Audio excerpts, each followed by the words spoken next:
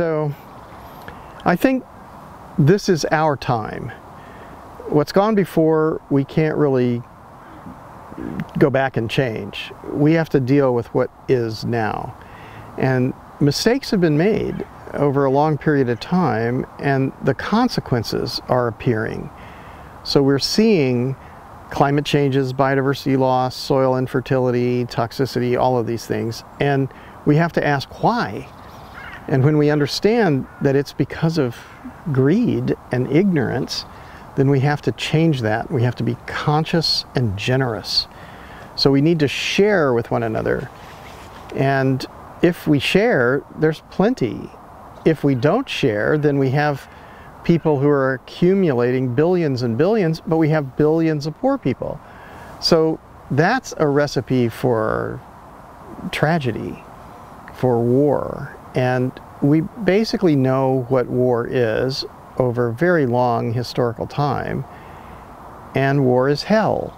And it's, it's there. No one actually benefits, but people pretend that they benefit by dominating others and by stealing from others and saying that now I stole it and it's mine. Well, I mean, that, that's not a real legal point of view. You know, you can't actually argue that.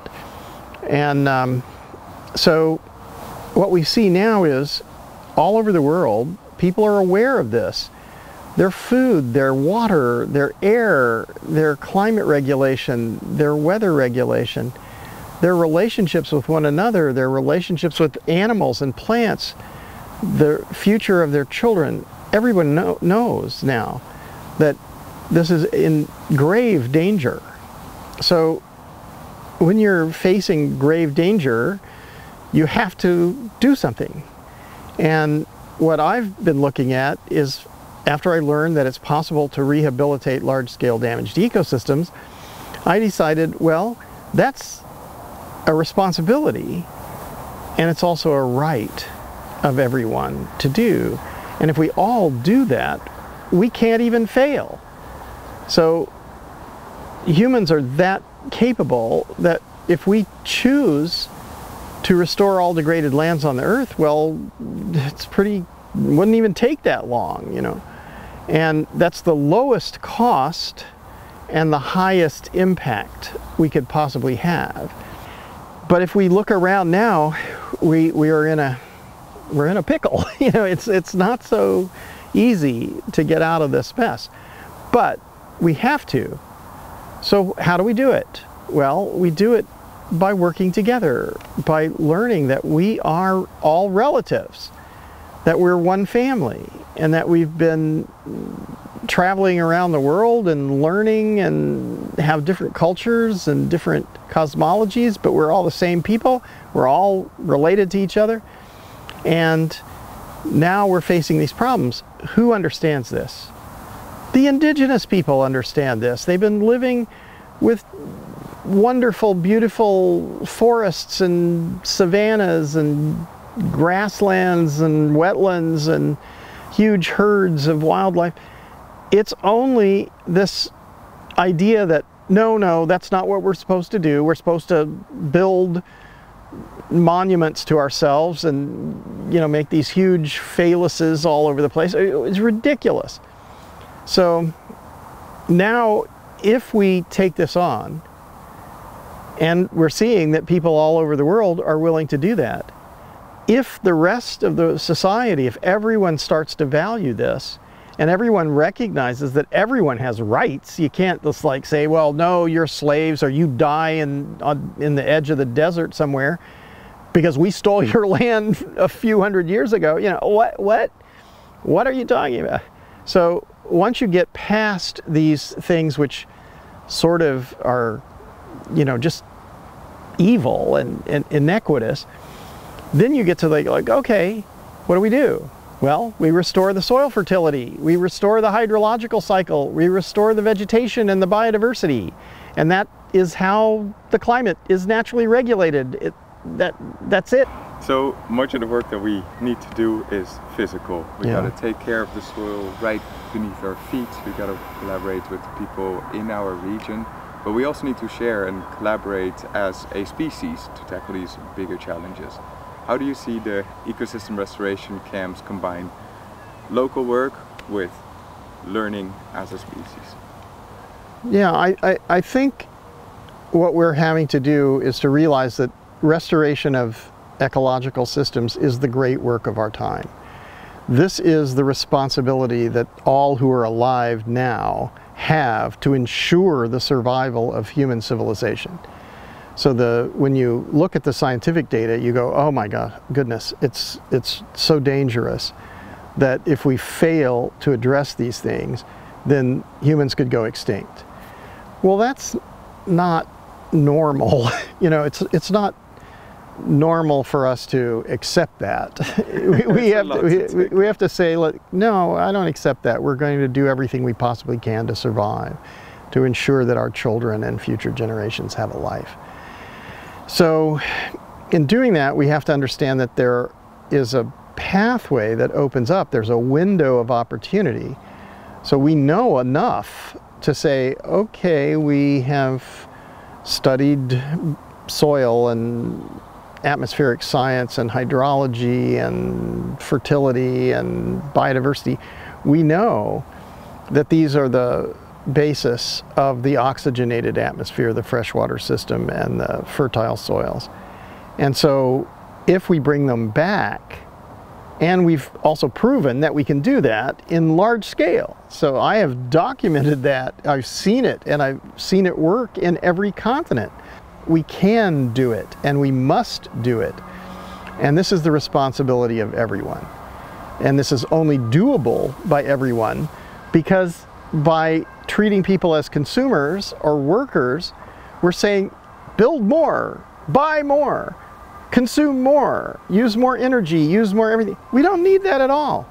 We need to restore ecological function because that's the true value, the true wealth on the earth we have to share that with everyone. So if we do these things, then we're on a trajectory which will return natural evolutionary succession and regulation to the hydrological cycle, the weather, and the climate. Well, that's what we need now. So this is the great work of our time. This is the task before us. And if we choose to do this task, we know how to do it but it requires that we drop the pretext that what has happened in the past determines what we do now. Getting out of this problem is that we learn to work together, that we forgive and we do the right thing, that we treat everyone with respect and we create an economy of love so that everybody is collaborating, we share everything, and we go to the next level. Otherwise, we face increasingly horrible outcomes. So what should we do now? It's already happening all over the place, people acting locally to restore the Earth's life support systems. What are some key elements that, oh, we've been talking about this, what should we set up to create the world we want to see? Yeah, I think, I think that obviously biodiversity, biomass, and accumulated organic matter are the keys for restoration. But we need a kind of infrastructural development which will allow this. And I've been thinking about central kitchens, creator spaces, and cultural stages.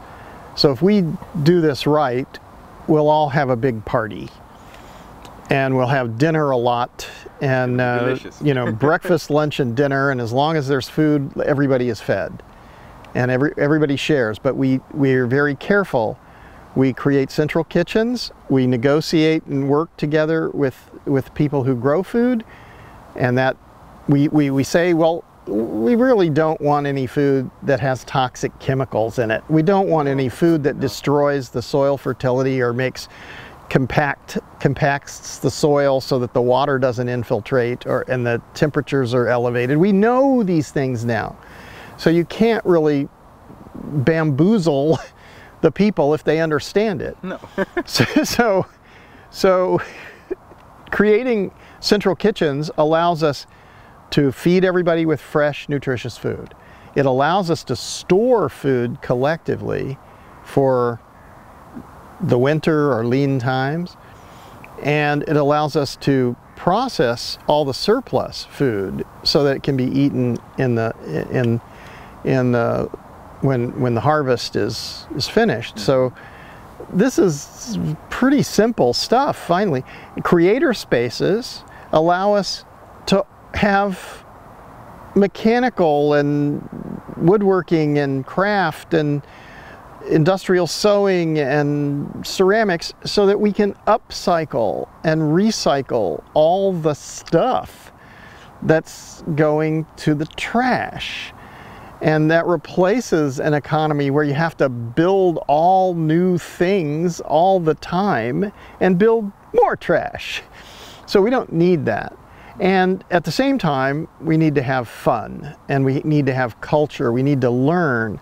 Where did we learn any of these things? Well, we learned it from the religious texts. We learned it from literature, from great literature. It tells us what war is. It tells us what evil is. It tells us about love. And so let's share that and focus on those things and we can have a great time and we can do what needs to be done and we can stop doing what doesn't need to be done. We don't have to go to work in cubicles to make buy and sell plastic gewgaws that go around the world in container ships and pollute and you know are wasteful and unnecessary. We can just do what needs to be done. So this one is very close to my heart and I totally believe that we can create these safe spaces with a shared infrastructure where everybody's welcome to have fun, have equal opportunity uh, to contribute to adding value to such a place and what I'm really interested in is using these safe places and the cultural stages also to connect experts to young people, old craftspeople to young people, to, to learn the proper trades, to share knowledge and my question is, how many of these kind of places do you think there could be? Millions.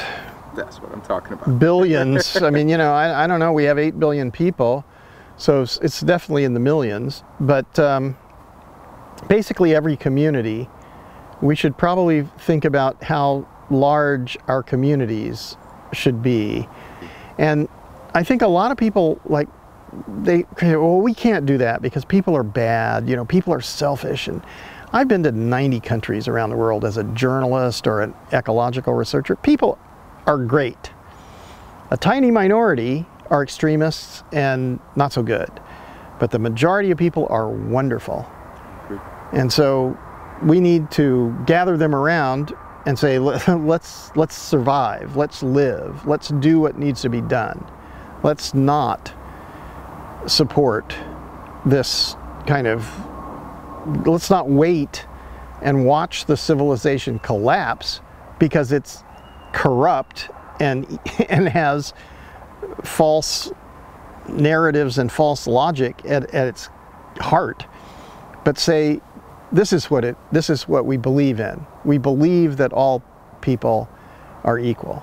We believe that life is beautiful on the earth, that the earth is abundant and wonderful. And the only reason that it's not is where we've raped it, where human beings have gone and extracted and, and abused the, the, the earth. Can we restore those places? Absolutely. Should we? Of course. Must we? If we wish to survive, we have to. So let's do it and it will make ourselves happier as well doing Let's so. have a good so time. Let's have that happen all over the place in millions of spots, all collaborating and learning from one another and doing it in different ways. Well, I think that what we're seeing is that there has to be a transformational change in human civilization. And today we're also showing this video to a room full of soil lovers, experts and people working in regional food systems and uh, I was wondering how can places like ecosystem restoration, restoration camps, regenerative communities, safe spaces with the central kitchen, the creator space and the cultural stages, how could they add to the collective knowledge on soil fertility and vitality and how could they add to really doing something about it? Well, I think right now you see a lot of people who don't know what to do. And I think what's interesting, if I hadn't spent 30 years studying ecology and documenting and observing how you do restoration, I'd be pretty upset and worried about what's going on. Mm-hmm. But it helps to know that it's possible to rehabilitate large scale damaged ecosystems. And it helps even more to know exactly how to do it. And where to go and where to sign up. Yeah. So, but, but once we once we realize that we all have a role to play, and we have to do it together, then we have to have a shared intention. We have to have a collective intelligence about this. So it's not up to an individual to decide, okay, we're all going to do this. John says go here. That's not it.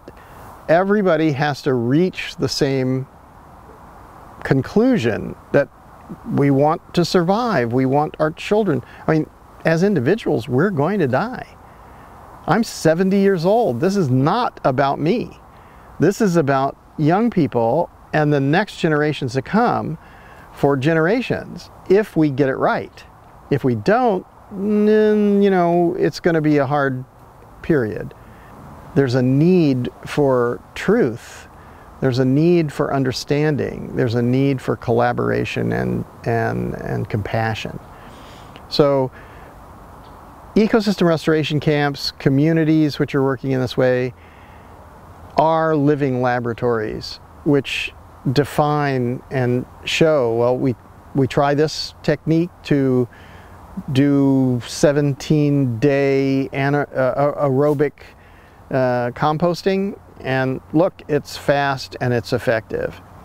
Okay, well, that one we should definitely go with that. That's you know, and uh, oh, look, if we have a canopy, then the temperature is 10 degrees lower in the in hot periods and it always stays moist and recycles water below the canopy. It's a microclimate. Oh well that's a keeper. You know let's let's let's learn that you know. yeah if you if you expose all the soils to direct solar radiation guess what? The temperature is going to be 10 or 15 degrees higher. Well that doesn't make giant fields of monocultures that get plowed a couple of times a year at all possible. It's insane thinking.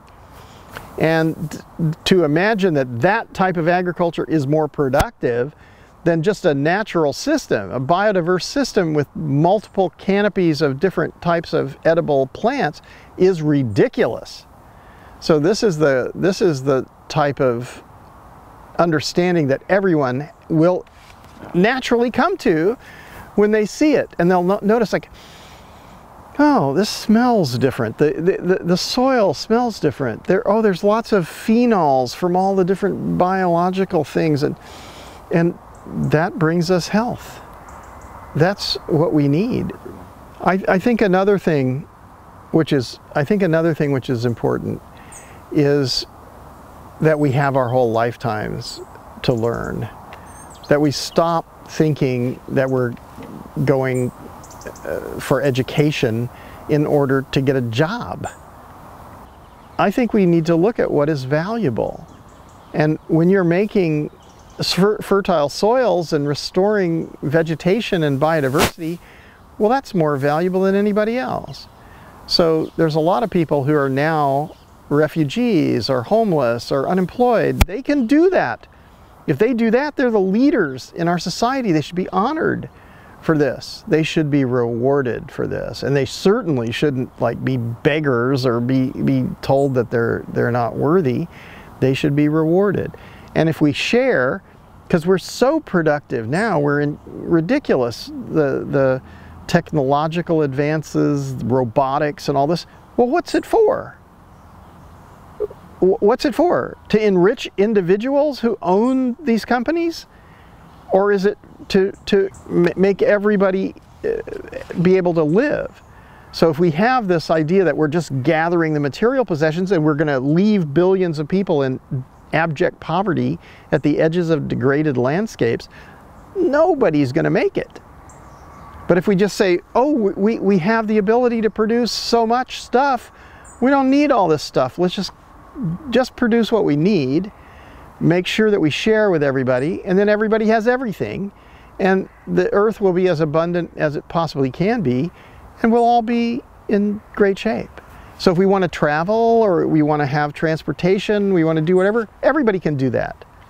It's not like some can do that and the rest of the people are slaving away to make it possible for them to do that. Everybody should have a chance to do everything and to reach their full potential, to, to live their dreams, live the way, live the, the change we want to see on the earth. Equality and joy and love and abundance.